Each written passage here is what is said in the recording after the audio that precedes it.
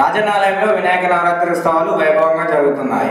ఈ ఉత్సవాల్లో భాగంగా ఈ రోజు ఉదయం లక్ష్మీ గణపతి స్వామివారిని వివిధ రకాల పనులతో అలంకరించారు. నగరింటి మండపంలో ఏర్పాటు చేసిన వినాయక విగ్రహం వద్ద హవనం హోమం కార్యక్రమాన్ని ఆలయ ప్రధాన అర్చకులు నమిలకొండ ఉమేష్ శర్మ ఆధ్వర్యంలో అర్చకులు వేద మంత్రాలతో నిర్వహించారు.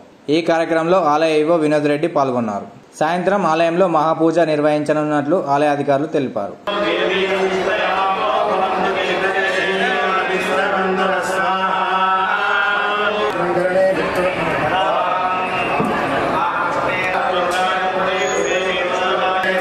समष्टिया